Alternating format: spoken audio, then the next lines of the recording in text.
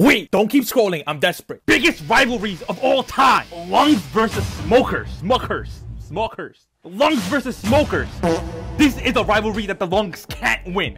Worst part about it is that smokers damage not only their own lungs, but everyone else's lungs around them. Like, yo, go get some help and breathe some damn oxygen for once. Damn! Apple versus Android. To be honest, this isn't even a rivalry as much as it is bullying. The Android people do be trying to fight back, so I'll give them points for that. But, but the superiority complex clogs most iPhone users' ears. Here's a fun magic trick you can do. Tell a girl you like you got an Android and watch how fast she disappears. Subbed versus dubbed. I've never seen two groups of people hate each other so much over how something should be watched. Like damn! Not everyone likes reading. If they did, they'll read a book. And not everyone likes bad voice acting. At the end of the day, you're watching the same thing. Just shut up and enjoy the show.